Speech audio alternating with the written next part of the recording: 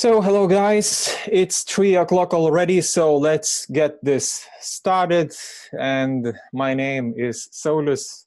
I am representing CloudVisor that is hosting today's webinar, uh, which will be focused on the new member of AWS, containerization services family, Amazon EKS Anywhere, and the most secure, reliable, and scalable way to run containers.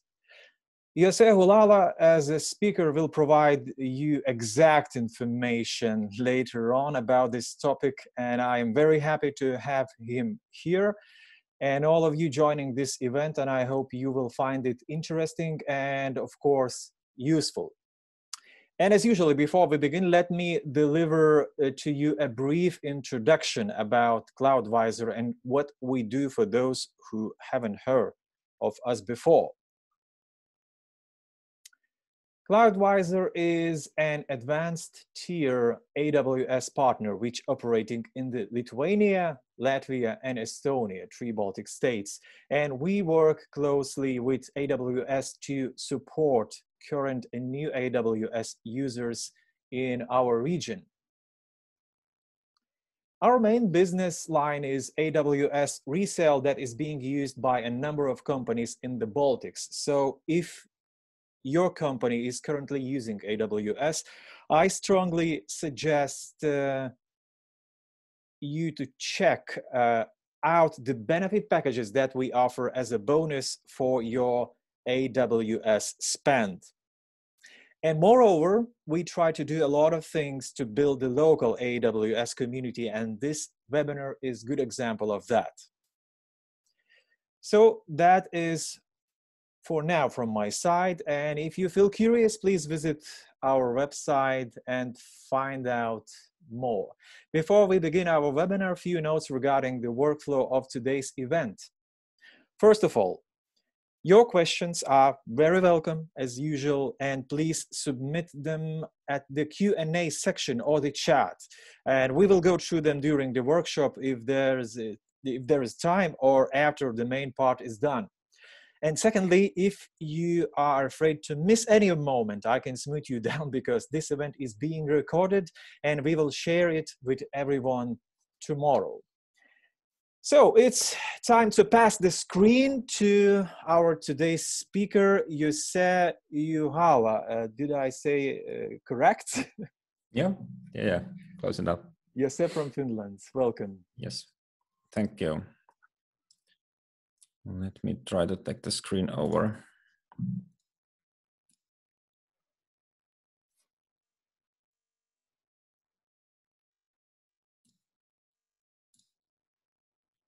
Okay. Hopefully you're seeing my screen at the moment. Yes, uh, Yes, my name is Jose Juhala, and I work as a solutions architect at Amazon Web Services. And uh, today we are going to go over our container services offering. And mainly we are focusing on the releases that happened at uh, reInvent 2020 and regarding the running containers in on-premises environment. So this means uh, ECS Anywhere, EKS Anywhere, and Amazon EKS Distro. And just to set some expectations for this session, uh, we are not going to have a deep dive into any of these. Most of these are still in the beta or just uh, coming out. So all of the details are not released yet. But we are going to have a broad overview of uh, what these services are and uh, what you can do with these in the future yeah, let's jump forward. And uh, why are customers at the moment looking at containers? And I think that uh, we all can agree that uh, just thinking back last year and with the situation with COVID, uh, customers and many companies are in a whole lot of different situation at the moment and their business has changed dramatically. So they need to reinvent themselves and in a fast pace. And uh, of course, this gives the companies a lot of new opportunities in this digital era that they are, but this also makes it hard for the development side and infrastructure side to keep up with this uh, change or demand of change uh, that the business gives to them. And this is why companies have started to look into containers as a way to deploy faster and still get the same kind of a secure and uh, reliable and stable infrastructure beneath them. And what kind of applications companies are currently looking into container platforms? And it's pretty much everything. We are seeing applications from uh, like mobile and web applications, which are like the standard ones that you see in container space, but also backend web services, IoT, data processing are quite heavy use cases uh, nowadays. Companies are also building shared services platforms, CI/CD, management and security tooling, and different kind of things in this space to support their development. And also migrating their enterprise applications from virtual, virtual machines or bare metal servers into containers like .NET classic applications, Linux applications, or pretty much any third-party applications.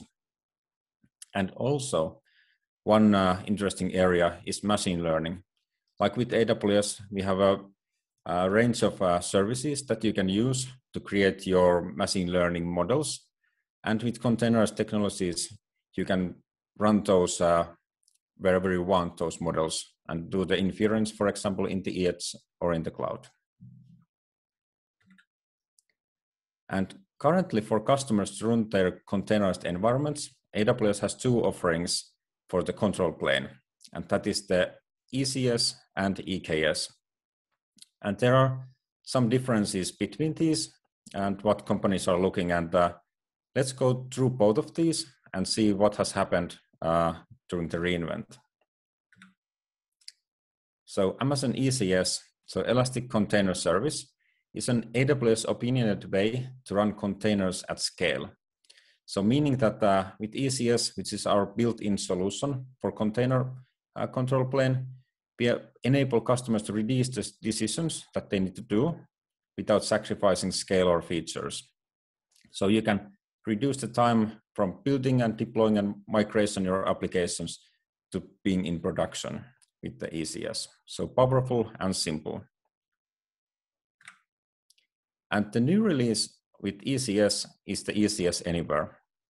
And uh, this is uh, playing the part here that, okay, previously you had the ECS to run in on AWS, but what about uh, if you wanted to run your containers or tasks somewhere else, but still benefit from the uh, simplicity of ECS?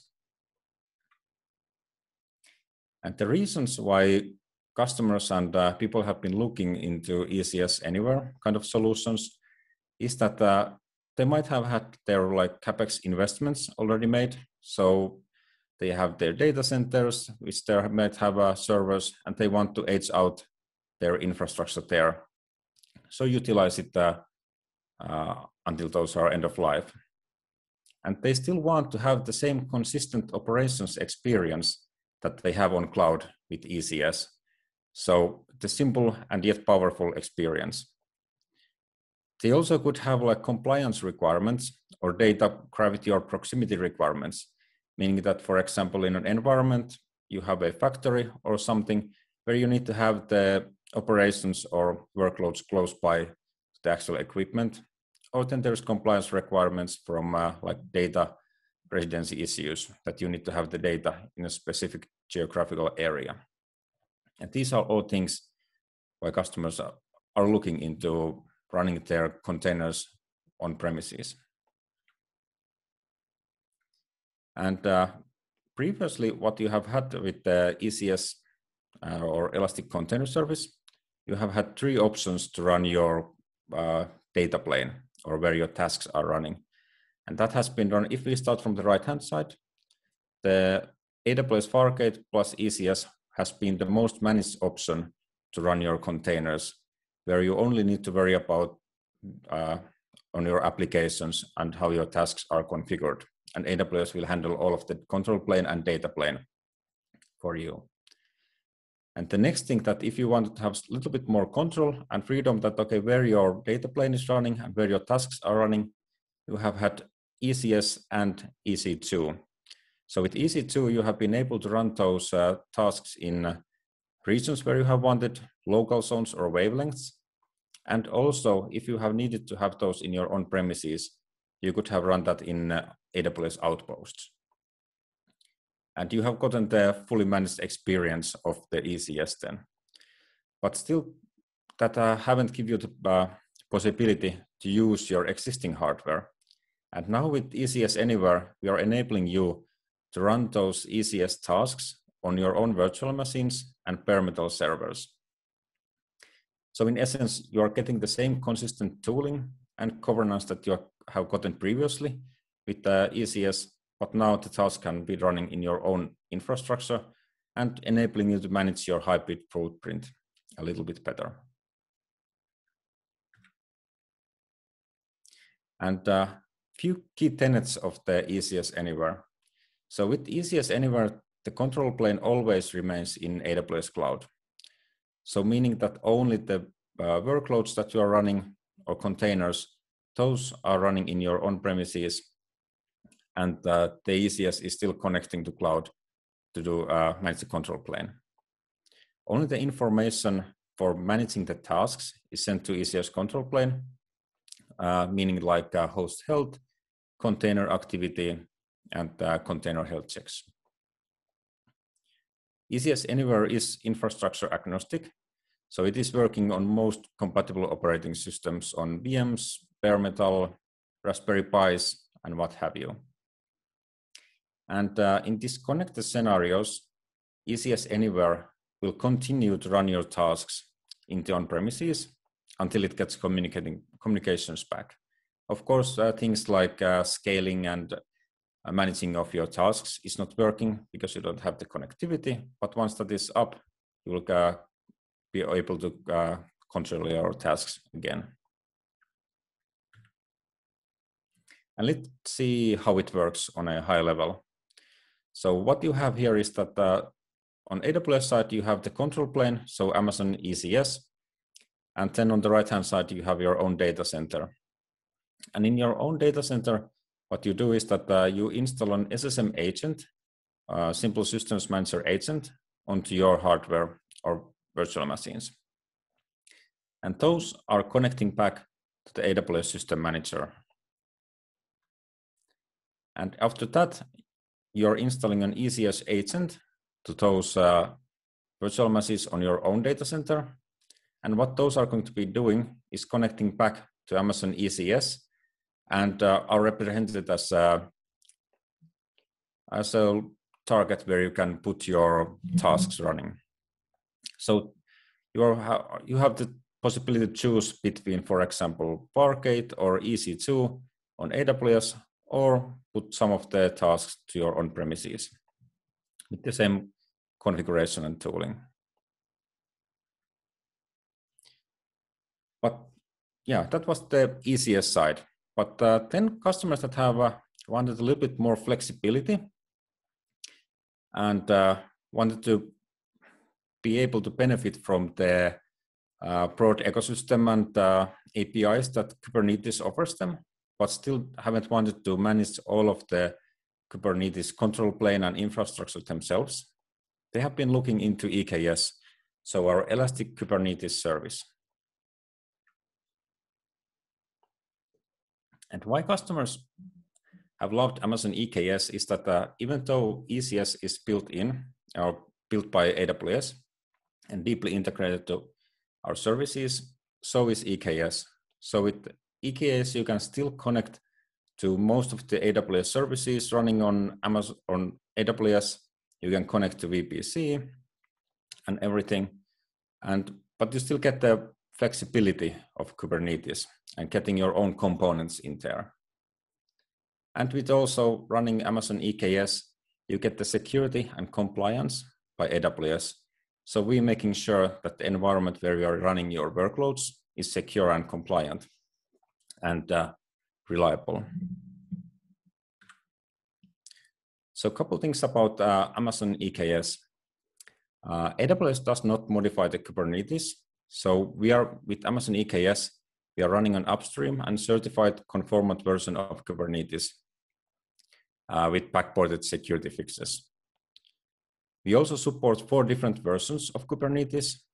So giving you time to upgrade your environment in a timely manner so that you have time to do the rollout upgrades to new versions.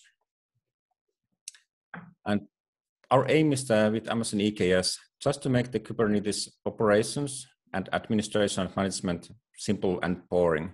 So you don't have to worry about the undifferentiated heavy lifting that goes on with uh, running Kubernetes.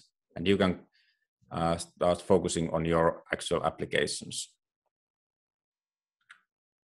So what this means in essence is that uh, Amazon or with Amazon EKS, we are handling the Kubernetes testing. For example, when there are new versions coming out of Kubernetes, we are going through those, making checks and making sure that it's reliable and secure.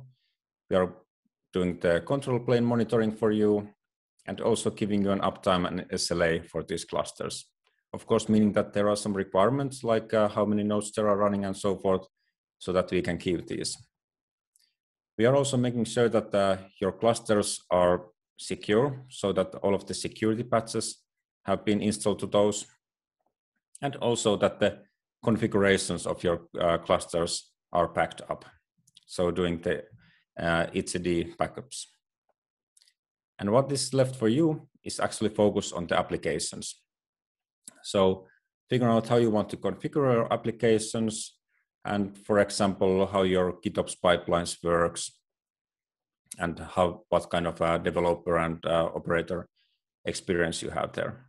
And also thinking the connectivity patterns, how you want to connect your customers to your applications or how you want to connect back to your on-premises infrastructure or any other AWS services.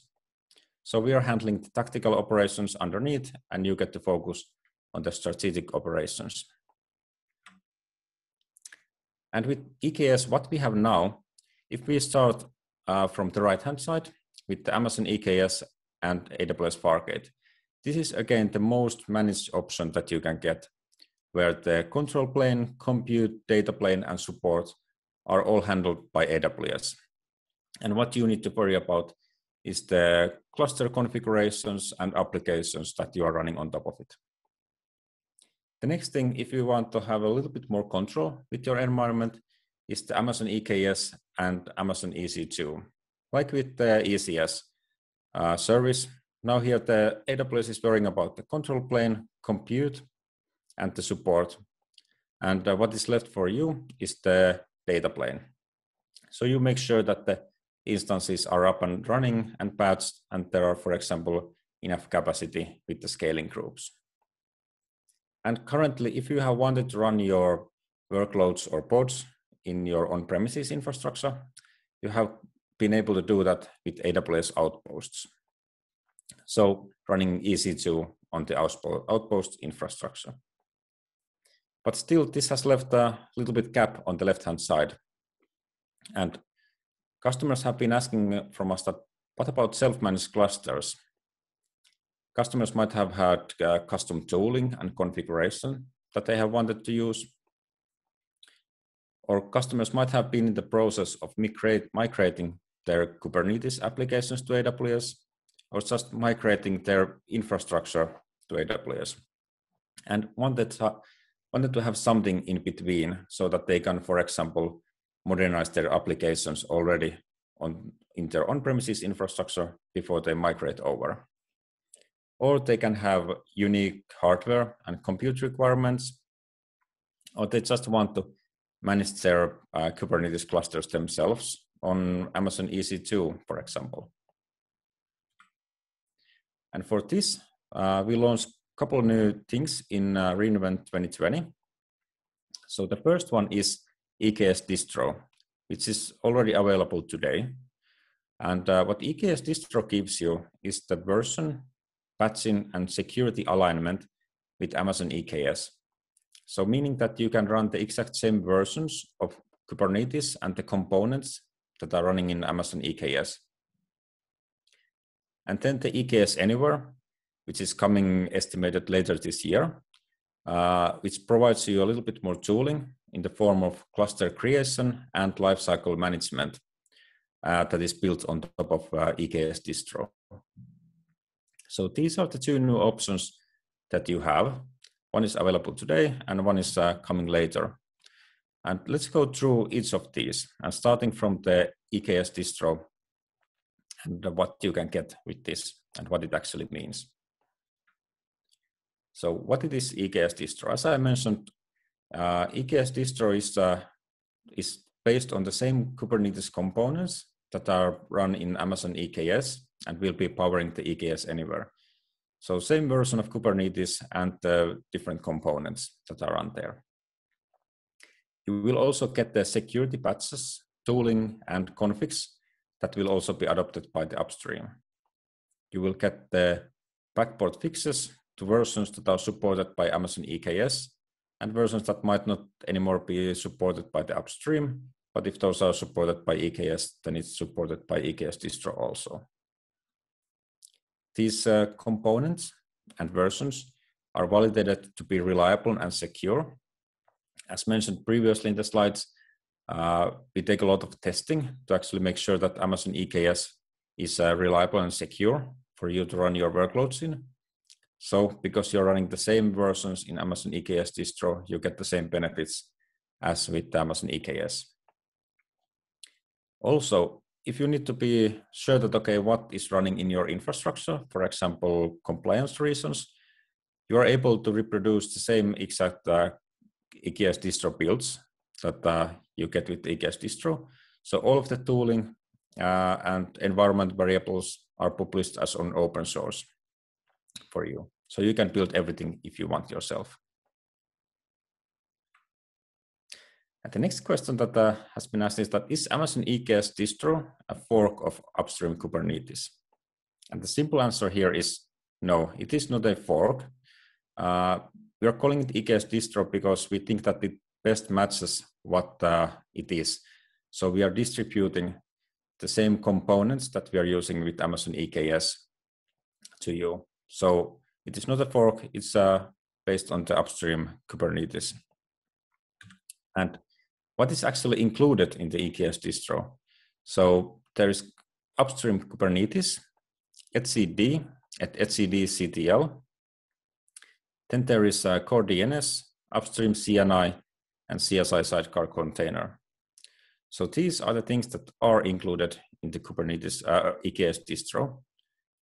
And things that, for example, are not included in the EKS distro are EKS CTL, AWS's official Kubernetes plugins, CNI and CSI, or Amazon controllers for Kubernetes ACK. So we are not bundling everything together in the EKS distro. So not everything for every use case, but the things that you need to build your Kubernetes cluster. And we are basically expecting you to bring in the rest of the things or components that you need for your applications and for your environment. Some additional release details. All of the container images are based on Amazon Linux 2, except the core DNS, which is based on Scratch. Container images come in AMD 64, ARM 64, and AMD 64 multi-platform OCI images. And AWS will provide uh, manifest files for releases formatted as Kubernetes CRD also. And there are multiple ways how you can get the EKS distro. So you can get it from the GitHub repository, or you can build it yourself with that one. You can get it from our public uh, ECR repositories, and some of the artifacts you can get from uh, our public S3 buckets or then you can build it yourself and, for example, get it from your private ECR repositories. And from the start, we have been planning that, okay, we need uh, partners to partner with this EKS distro. And there are multiple partners that you can use already from the start. And there are a lot of uh, blog posts that you can go through. And the one example here for the partners is Weaveworks and the Weave Kubernetes platform that has integrated EKS distro uh, into their platform, and you can leverage that to build your EKS cluster. Also, if you go into the EKS distro GitHub repository, you find there, for example, tooling and scripts for Kubernetes operations, kOps, that uh, with few modifications of uh, parameters, you can create your own uh, EKS distro cluster, for example, running on AWS. And there are also different and other open source tools that you can use like kubeadm and uh, different uh, Linux distributions also have tools to deploy your EKS cluster. Next, let's hop onto the Amazon EKS Anywhere. So to go a little bit forward and how you can actually start managing those EKS distro clusters later on. So why EKS Anywhere? And the scenarios are somewhat the same as with the ECS Anywhere. So customers want to leverage their existing investments and infrastructure. They might have governance reasons why they need to have their workloads running in their on-premises infrastructure, like uh, regulatory reasons or data residency requirements. And these are pretty much the same, same issues or challenges. But uh, it could also be that some customers have had challenges that uh, they are running their Kubernetes environment on Amazon with Amazon EKS, and then their self-managed cluster in their on-premises infrastructure. And they want to get away of that uh, complexity of running Kubernetes with different tooling.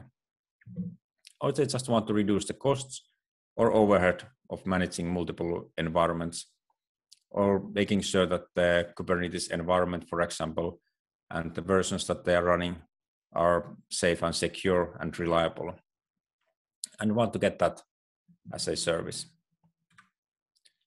So what EKS Anywhere gives to you is the possibility to create and operate Kubernetes clusters in your own data center and on your existing hardware and with getting the same consistent EKS experience.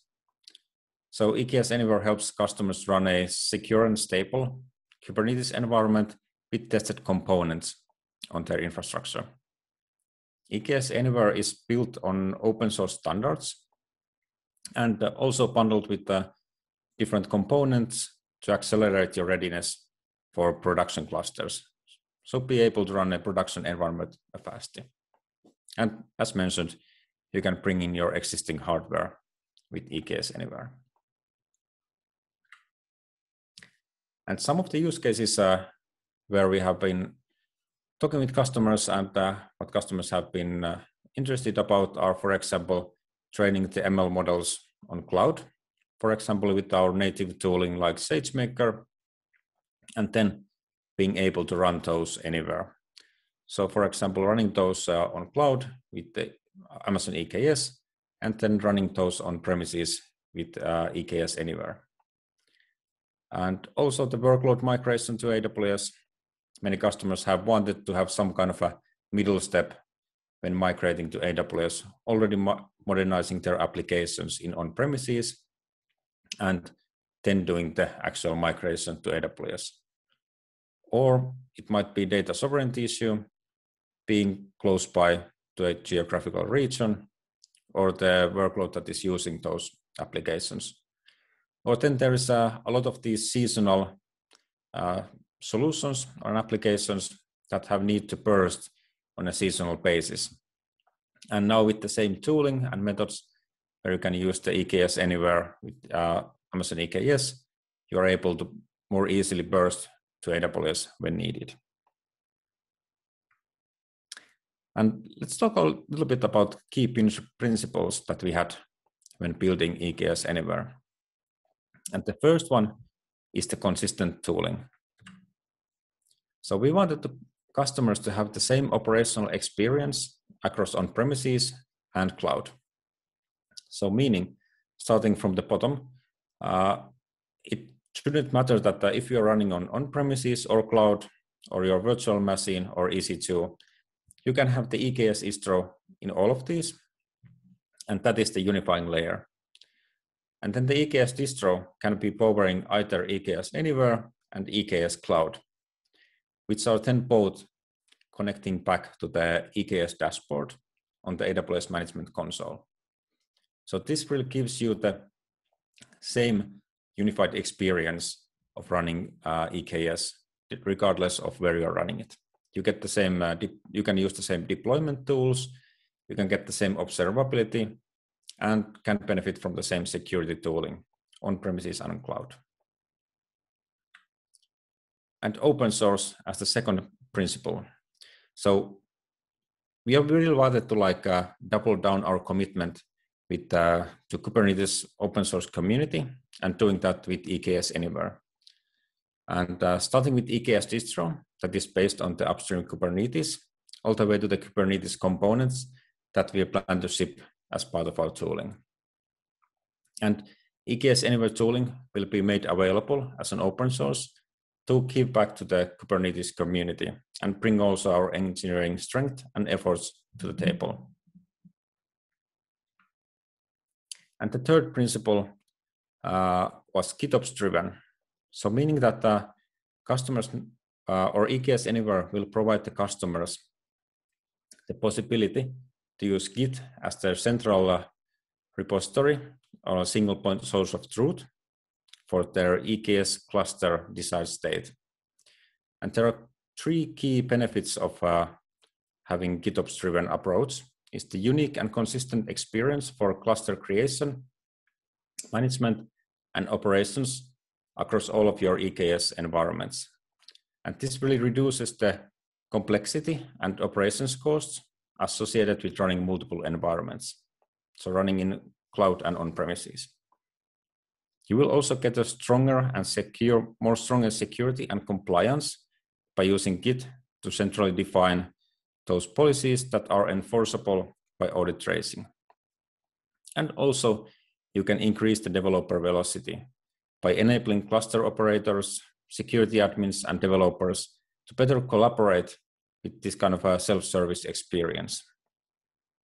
So using EKS Anywhere uh, customers will benefit from the same consistent and repeat, repeatable model across uh, uh, AWS Cloud and on-premises. And let's have a look into the EKS Anywhere architecture. So we are implementing basically a shared uh, responsibility model with this because uh, the control plane and the data plane are both running on customer infrastructure. And we plan to support both bare metal and VMware vSphere installations on top of customer managed infrastructure. So basically, you provide the uh, physical servers or virtual nodes that are connected to each other with a layer 2 connection. And then the EKS Anywhere will overlay on top of that. You can bring your own node operating system or you can leverage one of the bundled offerings with EKS Anywhere. And once a cluster is created, the entire EKS operational experience is, will be Git-driven and consistent across on-premises and AWS. So there is going to be a Git controller running each on, on each of these clusters that allows customers to version control and manage their desired state.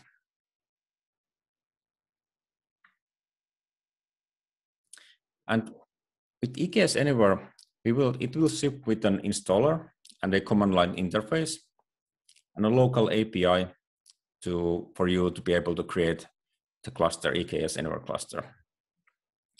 And uh, there is going to be optional defaults. That installation itself is going to be an opinion, opinionated installation. So there are optional defaults like node operating system, container runtime, ingress, storage classes, and observability. And with these defaults or uh, pre-configured defaults, we think that customers will benefit from the reduced complexity in the cluster configuration uh, associated with creating it and operating in their own environment. But you are still able to customize any part of the EKS Anywhere installation by bringing in your own components that you want to use. We also want to make it easy to use EKS anywhere with AWS services like AppMesh, push logs and metrics into AWS for observability, uh, perform cluster backups and snapshots to Amazon S3 buckets, run cluster cost management and uh, optimization tools, and also run compliance checks and uh, audit trail reporting and uh, configuration policy enforcements, for example, with AWS config. There are three options how you can run your uh, EKS Anywhere cluster regarding connection. So there is a fully connected or partially connected option. And the connectivity to AWS will be provided by a cluster agent that is running in your uh, EKS Anywhere cluster and connecting securely back to AWS and integrated with the AWS identity provider. And if you have a scenario where you need to run in a disconnected scenario, or you know that there's going to be a lot of disconnects, then you can leverage the EKS distro and, for example, any open source tools that you want to manage the cluster.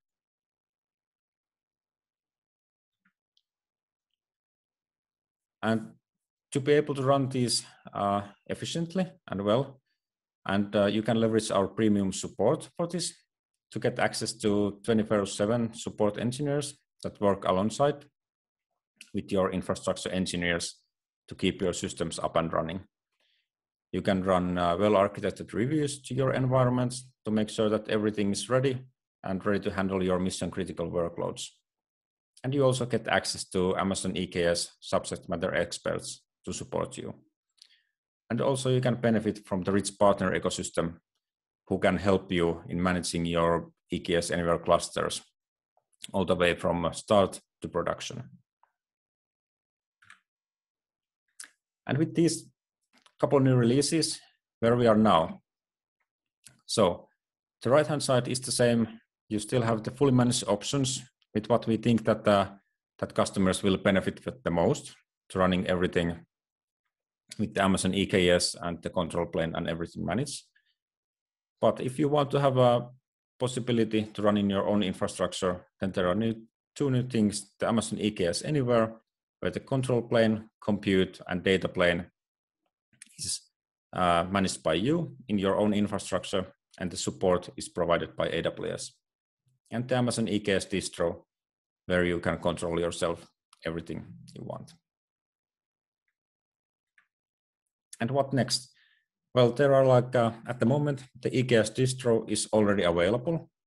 So you can start uh, trying that out, going into the documentation on Amazon Basics or going into the GitHub repository and getting all of the uh, documentation, codes, and everything from there, and the scripts, for example, for kOps. And with EKS Anywhere, there is uh, our own documentation page that you can be looking at. Thank you.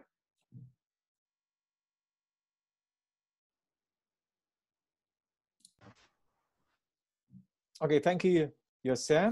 It was quick. Yeah, most likely. There's still like uh, many of these things with uh, ECS Anywhere and EKS Anywhere are not yet to be released. So not possible to go very deep into technical details, mm-hmm. but an overview of how we can use those. Yes, definitely. Maybe the attendees have questions right now because it's it's about time to to provide your questions.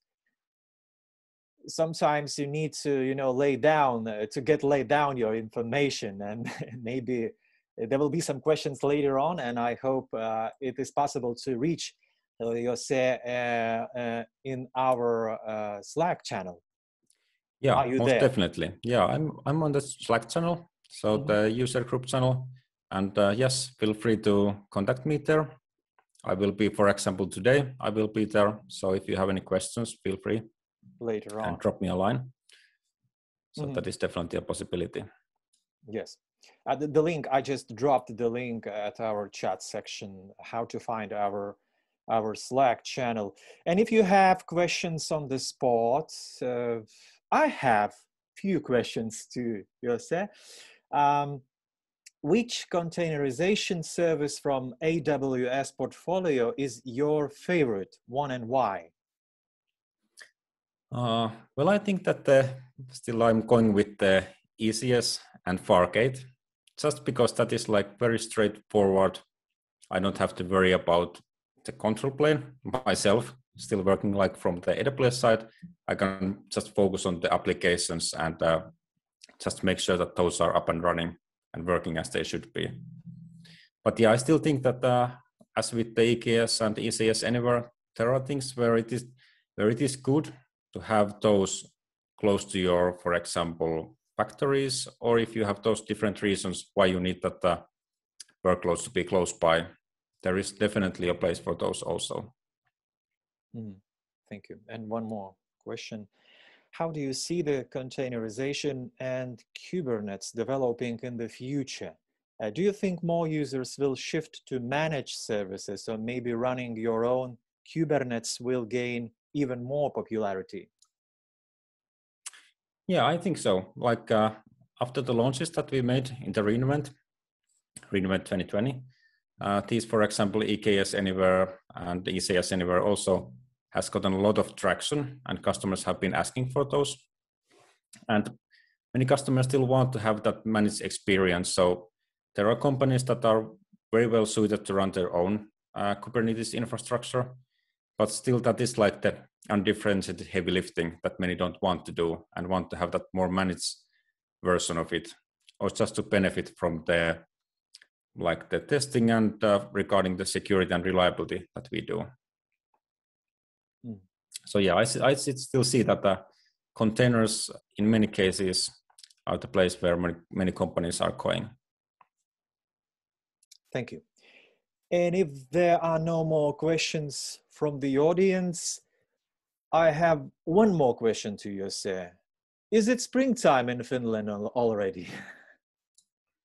Well, yeah, it's raining and it's gray. I think it's spring, spring here, but uh, hopefully it starts to like uh, sun starts to shine a little bit yeah. later on this week. Sun starts to shine and, and, and the, the weather is, is warmer and, and we have about six or seven plus yeah. degrees and it, it, it you know provides good mood to us and now it's about time to participate dear attendees at our poll uh, because we would like to to get the feedback from you and we will be very very appreciated uh, and if you if you answer few short questions at the poll section you already see uh, those questions on the screen.